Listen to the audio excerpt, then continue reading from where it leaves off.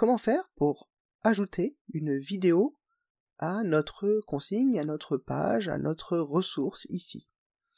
Donc on va aller sur la vidéo, partager, je vais faire intégrer, et on vient copier le code ici, hein. si on clique dessus, tout est sélectionné, on fait copier, on revient sur Eléa, on va venir modifier notre page, et on va insérer cette vidéo dans la description. Alors pour ça, en fait, vu qu'on a du code, il va falloir faire afficher le code.